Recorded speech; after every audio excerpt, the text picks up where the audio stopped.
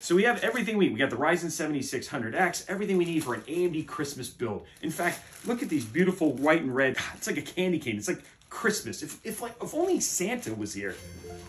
Ho, ho, ho. Oh my gosh, we do have Santa. Oh. Santa. Oh, you know what would be great, Santa? Let's make somebody's holiday special. What if we gave this PC away? Ho, ho, ho. What if we did it tomorrow on the stream? Ho, ho, ho. Oh man, that sounds perfect. So you should tune in tomorrow, 5 p.m. Pacific time, because AMD, Robeytech, and Santa Claus Ho, ho, ho. are going to be giving a PC away.